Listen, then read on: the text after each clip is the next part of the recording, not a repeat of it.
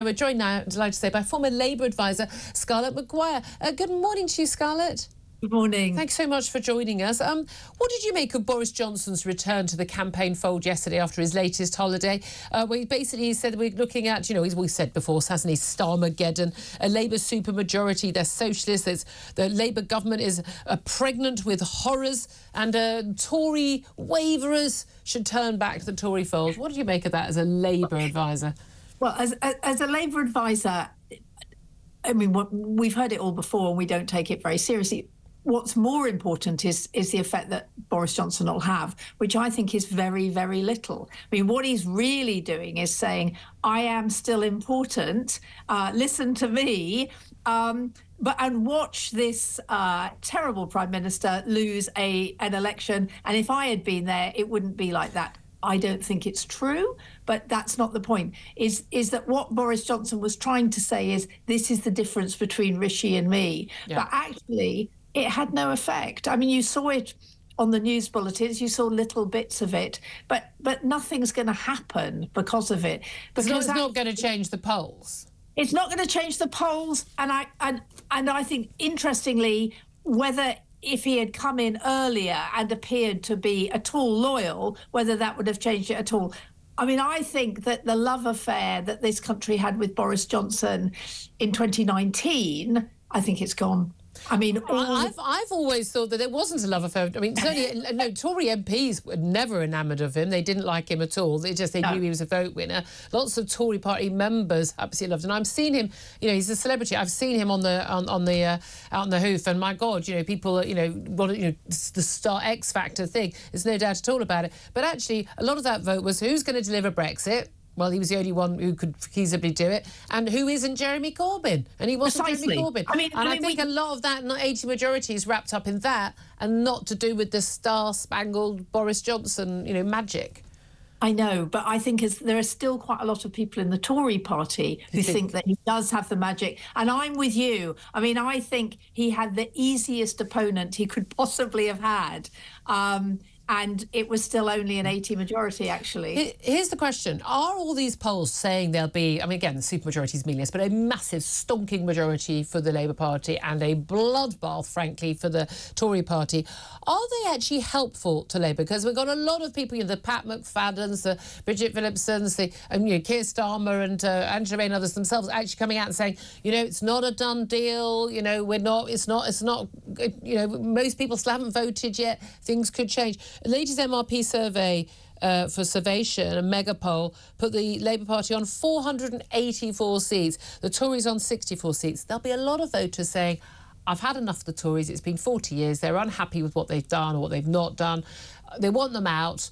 They're not, according to the polls, particularly enamoured with Labour or enamoured with Keir Starmer. Most people don't know what he stands for. They don't, there are probably people out there who don't know his father was a toolmaker, amazingly, Scarlett. But um, but they figure, well, we'll give them a chance. But they might be put off, might they, by this idea that they have so many seats that it's an absolute wipeout. Do you think that's a risk for Labour? Oh yeah, I mean, I, know a lot of very nervous um, ex MP. I mean, you know, prospective political candidate, prospect prospective parliamentary I candidate. I hate that. I hate that phrase. I, I hate that. I mean, people who we would call MPs trying yeah. to hang on to their seats, yeah. right?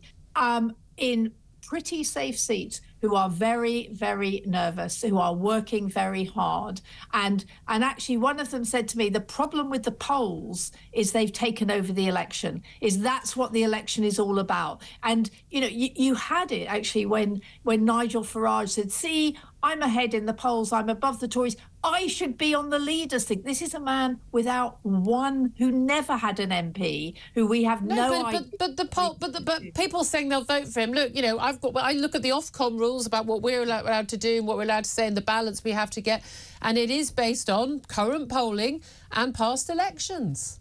Yeah, no, no, no. I agree. What I'm saying is, is, is we know nothing about. I mean, polls. What the real, what the real vote is going to be. Polls have been wrong not one vote has been counted. Uh, yeah. Labour are worried. And yeah. what Labour is saying is if you want us to be in power, vote for us. Don't don't think that it's a done deal because it really well, isn't. Keir Starmer has said in the last few moments uh, uh, while he's out on the campaign trail that he's not worried in the slightest by Boris Johnson's last minute campaign intervention. He called it Exhibit A of Tory chaos and division because, of course, you know, Rishi Sunak didn't appear on stage with him, which is a real giveaway, isn't it? But let me ask you about what happens when Labour, as it looks like they will be, be in power. let's face it, Mel Stride today, the Work and Pension Secretary, pretty much conceded the election. Um, Grant Shapps has done so before. Suella Braverman, uh, who was a former candidate, she former uh, minister, she has pretty much conceded it. Um, what are your biggest hopes for what Labour will do? What are your biggest fears? Because that's what we're asking our audience today. Because we've already got some information. You know, detained migrants, some 300 earmarked for the Rwanda uh, uh, deportation. They've been released because civil servants and the judges are going. Well, I mean, they haven't got any reasonable chance of going. Labour are going to get in. Um, these flights are going to be cancelled anyway. So great, what's happening there? Also, prisons crisis. The Labour have said there's no, there's not going to be any sudden change. We're not going to have pop-up prisons, which means the early release scheme of some pretty serious criminals will continue. I mean, a lot of people will just say it's just more of the same, isn't it? But some might say even worse. No, well, I, I, certainly think it'll be a lot better. Um, I, I, so my hopes, my real hope, is is public services. I mean, we have to do something with the National Health Service. Um, you know, I know people, a lot of people, too many people who have gone private because they can afford to. Most people in this country do not have that choice. And, and and it's not just to skip a waiting list. I mean, in some cases, it's it's because the damage that will be done by waiting is just too much. It's not people being greedy and jumping the queue. These people are desperate. No, no, no, no. These are the, the absolutely the people I know um, who are either in pain, but what for many, many people that that is not a choice. So we have to sort out the NHS. Um, and, and well, you I, have to. Yeah, we all look. Okay, everyone in the country agrees with that.